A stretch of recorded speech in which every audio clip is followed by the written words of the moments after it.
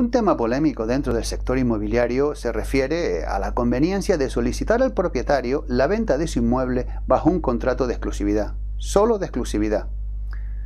¿Es necesario tener la exclusividad para garantizarse la venta de un inmueble? Pues desde luego que no. Y respeto a quien piense lo contrario, aunque debo decir que se equivocan al pedir siempre los inmuebles en exclusiva. Eh, yo y muchos otros agentes inmobiliarios eh, somos partidarios de no pedir la exclusividad a los propietarios eh, principalmente por dos razones. Primero, porque toda exclusividad conlleva una prestación de indemnización en caso de que no haya venta dentro del periodo acordado en el contrato por alguna circunstancia.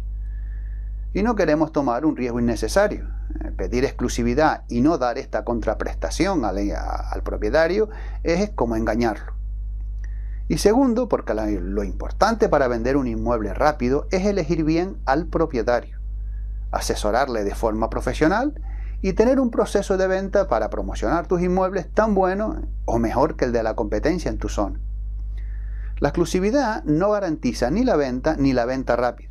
Los agentes inmobiliarios piden la exclusiva, lo entiendo, para evitar que otras agencias vendan al mismo inmueble. ¿Y qué pasa con el cliente? No se tiene en cuenta eh, ni se quiere tener en cuenta la situación del cliente.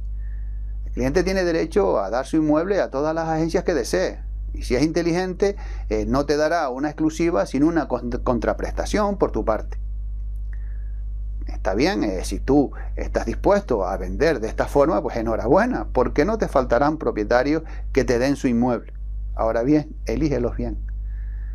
Seamos consecuentes. Los propietarios de los mejores inmuebles a la venta no tienden a dar sus inmuebles en exclusiva, y cada día menos. Esta es una de las razones por la cual muchos propietarios prefieren intentar vender primero sus inmuebles ellos directamente. Te recomiendo que elijas propietarios y no inmuebles. Hay propietarios con los que no se puede trabajar, consigas el inmueble en exclusiva o no lo consigas. Es mejor ganarse la exclusividad a pedir la exclusividad.